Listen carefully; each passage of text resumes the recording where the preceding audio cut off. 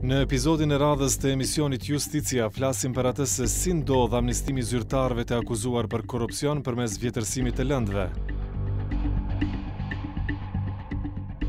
Vetëm në tre vjetët e fundit, veprat penale të korrupsionit janë parashkruar në 16 raste të mëdha korruptive ku zyrtarët e akuzuar u amnistuan. Institucionet e drejtësisë ia hedhin fajin njëra-tjetrës për dështimet në rastet korruptive, e monitoruesit thonë se kanë dështuar mekanizmat mbikëqyrës që të mbajnë përgjegjës gjyqtarët e prokurorët.